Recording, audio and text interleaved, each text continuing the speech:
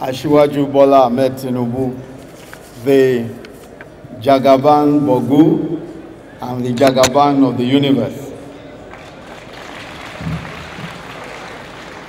And his dear wife, herself a notable political phenomenon, ranking Senator Oluremi Tinubu. The national chairman of the APC, Comrade Adams Oshiomhole, and former chairman of the APC, Baba Bisi Akande, Baba Omo KKK, all other leaders of the APC here present, Your Excellencies, governors of various states present, led by Governor Akinwunmi Ambode, our chief host, His Excellency Abdulaziz Yari of Zamfara State, His Excellency Mohammed Abubakar of Bauchi State, His Excellency Abiola Ajimobi, Ajimobi of Oyo State, His Excellency Adegboyega Oyetola of Osun State, His Excellency Kayode Fayemi of Ekiti State, His Excellency Oluwarotimi Akeredolu of Ondo State, His Excellency His Excellency Governor Lalong of Plateau State, former Governor of Osun State, Ogbeni Rauf Aregbesola, the Governor-elect of Lagos State, Governor-elect of Lagos State, Mr. Babajide Sanwo-Olu,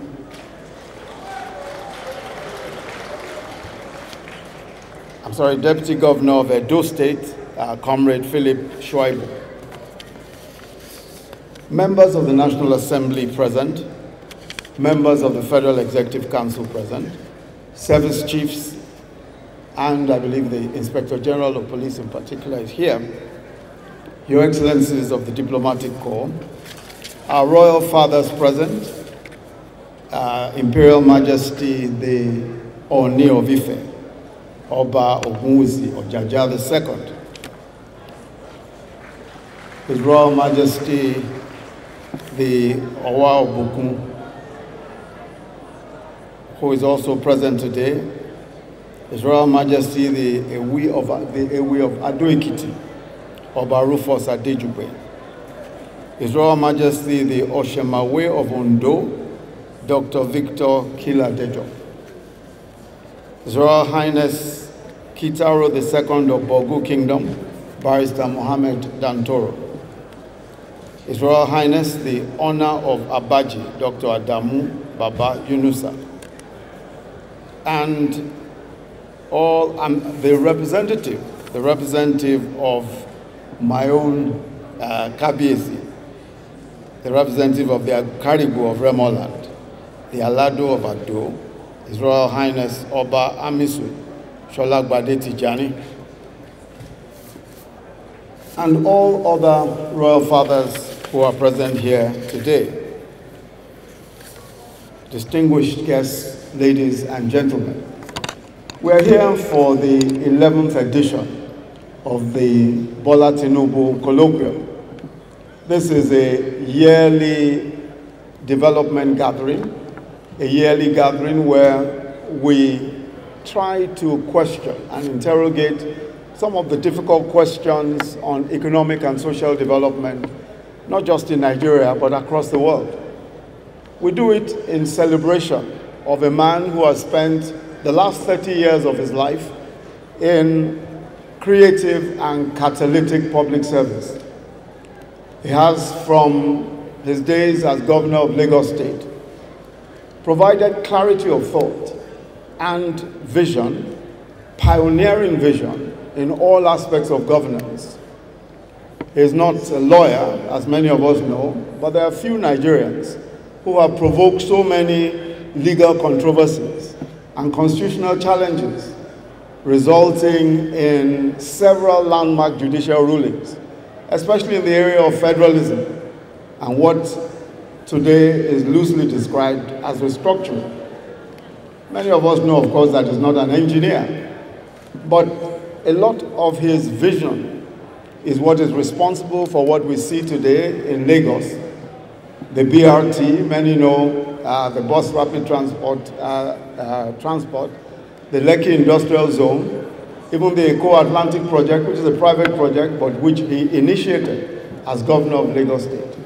And of course, the reform in the, the reform in the tax system of Lagos State. Today, Lagos, as we know, earns more revenue, more IGR, than 31 states of, of, of Nigeria put together. That by itself began in 2001 with a very innovative way in which he reformed the tax system in Lagos and created an independent Lagos Inland Revenue Service. Several, several African countries and states of Nigeria have engaged the LIRS as consultants for their own reform efforts. But how about electoral reform? In 2007, when our party, then the ACN, was rigged out of elections in Osun, in Ekiti, in Ondo, and in Edo State. I was asked, uh, he invited me to his residence, as Asiwaju invited me to his residence at Bourdillon. And he said to me, the only way by which we can possibly reclaim the states that have been taken away from us by this rigging is going through the courts. And he said to me that the only way is by proving that there was multiple voting. In other words, proving that a few people simply thumbprinted ballot papers, dumped the ballot papers into, uh, into ballot boxes, and they were counted in favor of the opposition. Then, of course, the PDP he then said to me that the only way we can do this is by somehow, he says, I don't know how you are going to do it, but somehow proving by forensic evidence that this is exactly what happened.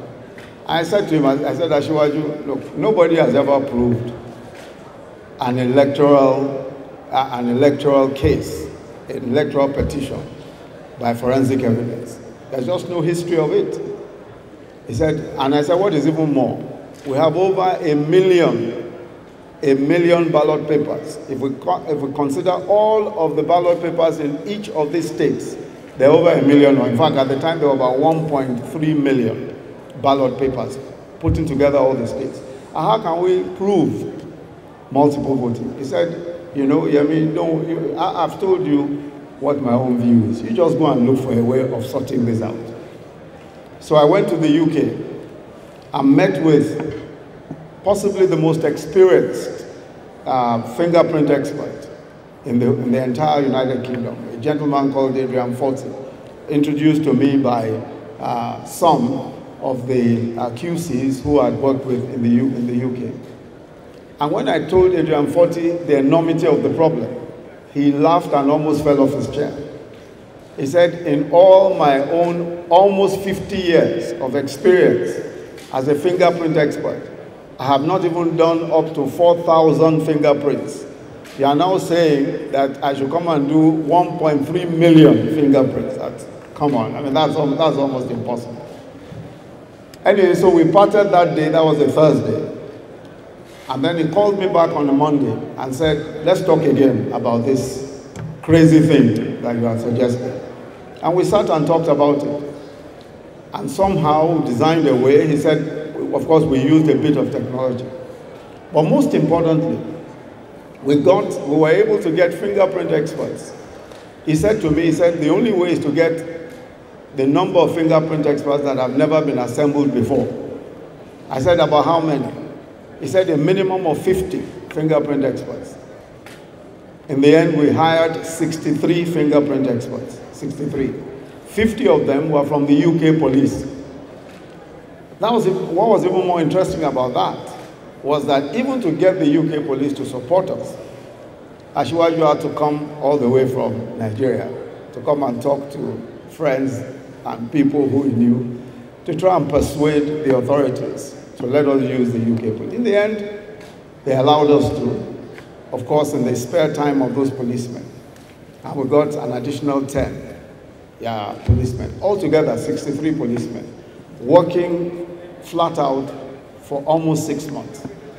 We were able to put together for the first time definitely in the history of electoral petitions anywhere in the world, were able to put together a solid forensic case that showed that all of the places where we were defeated, it was on account of multiple thumb printing.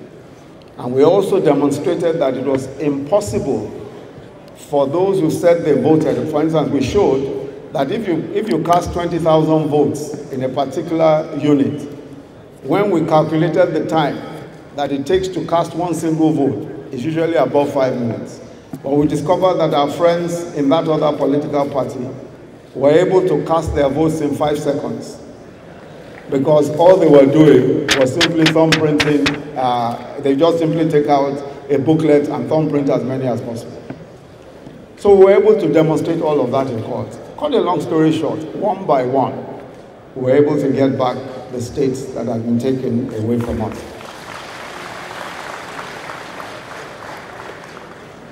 The only way by which that could ever have been achieved is surely not just by the vision, but by the determination of the leader of our leader at that time. He was, of course, uh, the leader of the ACN at the time, and he showed the kind of leadership that was very, very rare, of course. Not only defining what he thought was the way forward, but also supporting it in every way and backing it to the very end. The last uh, state that we finally won was Osun State. After almost three years of battling, we finally won Osun State. And I think that, you know, uh, one of the things that you will say that all of us will agree with about uh, our celebrant today is just that his dogged attitude, his refusal to accept no for an answer. Asiwaju also pioneered merit in cabinet appointments in particular. And I want to emphasize this because one of the major drawbacks that we have as a nation is that way by which we are, we are blindsided into thinking that we can avoid merit and expect to achieve great things. We simply cannot avoid merit. I think Asiwaju demonstrated in the years when he was governor that political appointments, especially cabinet appointments, he simply looked for those that he considered the best possible material at the time, wherever they were from. So for the first time in the history of Lagos State, we had cabinet members from other parts of the country beginning with other parts of the southwest. Rauf Aregbesola, of course, is from Osun State. I from Ogun State. Wale Edun from Ogun State. Athawari from Delta. He became the first commissioner for lands. Lai Mohammed from Kwara State. Dele Alake from, uh, uh, from Ekiti State, you know, and so many others. For the first time, we appointed judges from other, in fact, I've, I've forgotten Ben Akabueze. Ben Akabueze, of course, from Anambra State, was uh, Commissioner for uh, Economic Planning and Budget uh, after Yemi Cardoso, and for several years after that, he served as uh, Commissioner for Budget and National Planning. But also judges, the appointment of judges from everywhere else in the country. Justices Onyabo and Justice Sybil Nwaka were both appointed to be judges of Lagos State. There is no other state in the country except some states in the north where we've seen the appointment of individuals from other states. And Asiwaju pioneered that.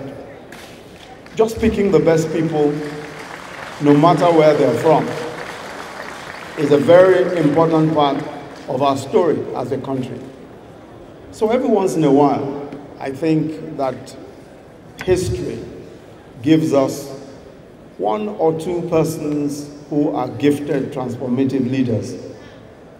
And I believe that our country has been gifted by this great transformative leader, Asiwaju Bola Ahmed Tinubu. I believe very strongly, I believe very strongly that uh, this man's political trajectory has only just begun. He's a man who has tremendous giftings and is a man who I believe God has a great plan ahead for. I pray for you, Asiwaju, that as your days, so shall your strength, so shall your wisdom, and so shall your favor with God. In Jesus' mighty name. Amen. I'll just say a word or two about the next level. As you know, this, the expression next level itself was our political uh, campaign slogan in these last elections. And what we were saying uh, was simply that there was a next phase to what our country had seen.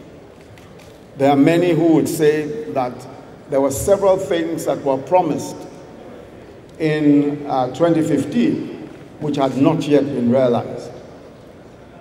But one of the, one of, I think the most, uh, the best way of putting it is to simply say that our country for the first time is experiencing a type of leadership that is bound to lead us to where it is that we, are, we have purpose for ourselves as a government. The honest, in my view, the honest leadership, a leadership with integrity of our president, President Muhammad Buhari, is a very important component of getting anywhere at all in all of our development plans. I'd said before at the last colloquium that Nigeria's main problem is not a lack of ideas, is not a lack of projects or programs, it was most of the time, especially with the leadership in the past, was a lack of integrity in leadership. And corruption in particular was the reason why we were finding it difficult to make any progress. And I explained that that's why we earned 383 billion US dollars in four years, 2010 to 2014, the highest ever in the history of our country, the highest ever. And yet, Lagos Ibadan Expressway not done. Lagos Kano Rail, all of what is being done today, not done. We cannot point to a single major project, a single major infrastructure project that was completed in that in a 10-year period, despite the high earnings, including power. So we so so a, a, government coming after so many years of waste must be a government first that emphasizes fiscal prudence, a government that emphasizes integrity in public finance, so that we manage the little resources we have to achieve the maximum that can be achieved. And that is what President Muhammad Buhari set out to do. As I keep saying, the president has never, has never claimed to be an orator. And we all know that he's not an orator.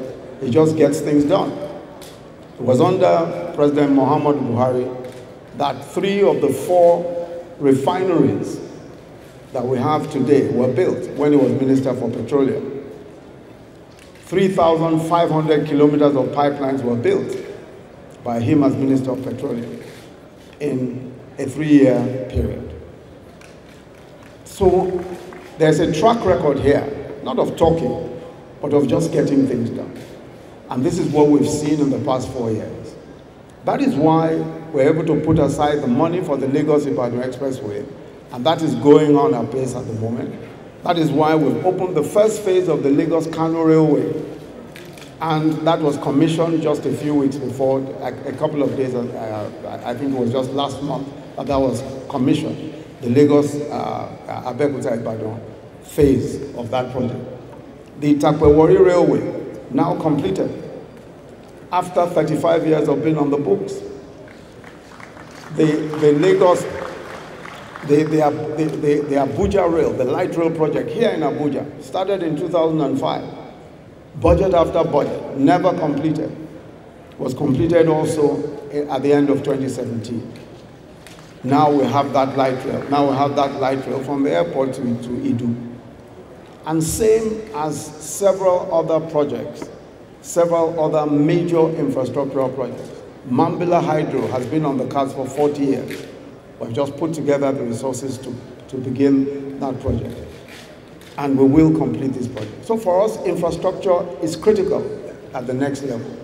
You cannot have power, you cannot have a situation where you have, a, where you have the kinds of power situations we have today and expect transformative development.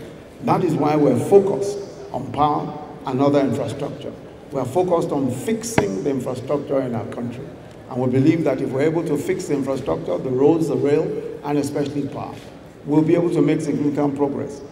Today, our rail project starts from the Apapa port so that we're able to clear the congestion in that port because the rail, the Lagos Kano rail, begins from the Apapa port and we can start taking out cargo from the Apapa port using rail as an, alter as an alternative means of transportation. The same is true of agriculture, and you just heard our partners from Brazil talking about the, uh, the, the agro-industrial phase of agricultural development. And we're committed to that project because we believe that that is what will transform uh, the, the agro-industrial phase of, that, of, of, our planning.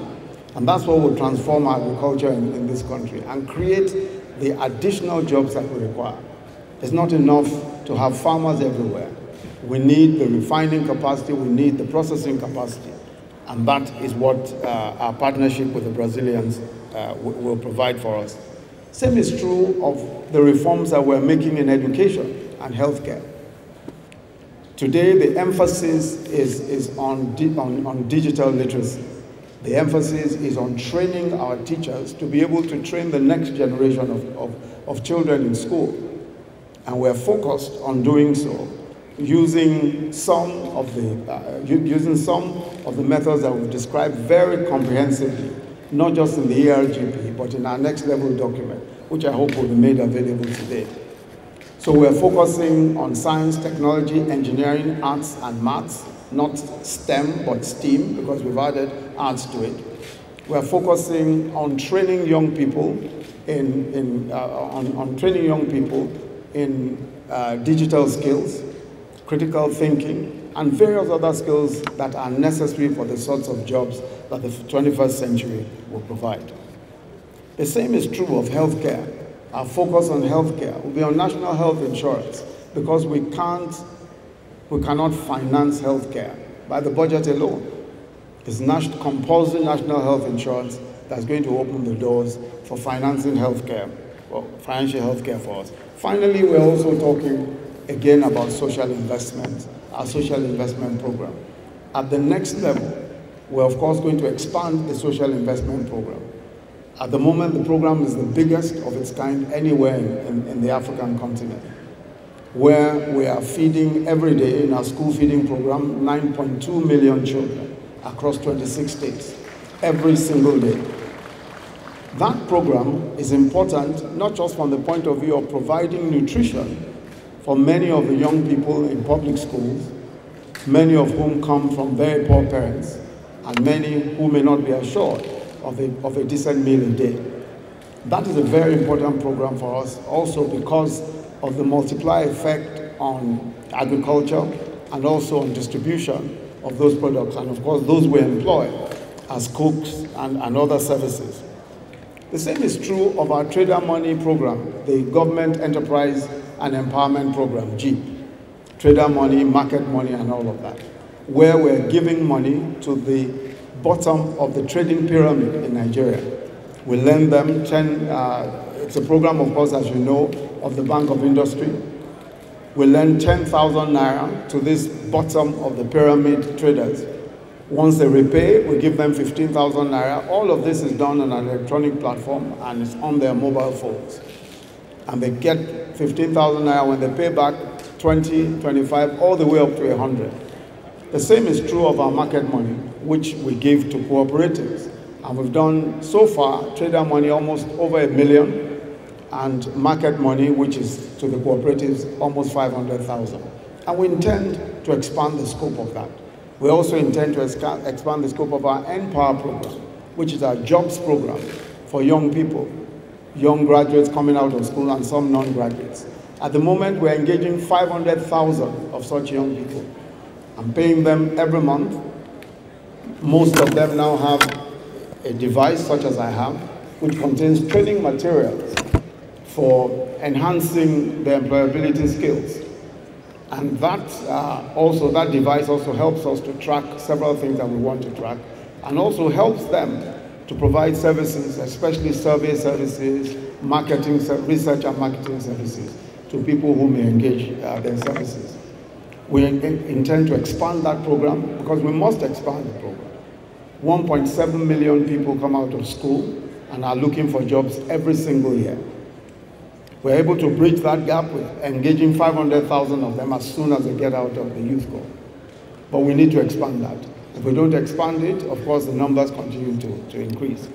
So the next level promises to be exciting.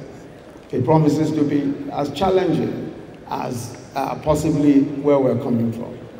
But as the president has said repeatedly, we have no other focus, we have no other commitment but the progress of this country. And we will ensure that step by step we get to where it is that we promise the country that we're taking the country to. So I want to say to you all that the next level is for all of us. And I urge that all of us cooperate to take us to this next level. So on behalf of the President, Muhammad Buhari, who I represent here today, again I'd like to wish Asiwaju Bola Ahmed Tinubu a happy birthday and say thank you all very much for making the time to come to this event. God bless you all.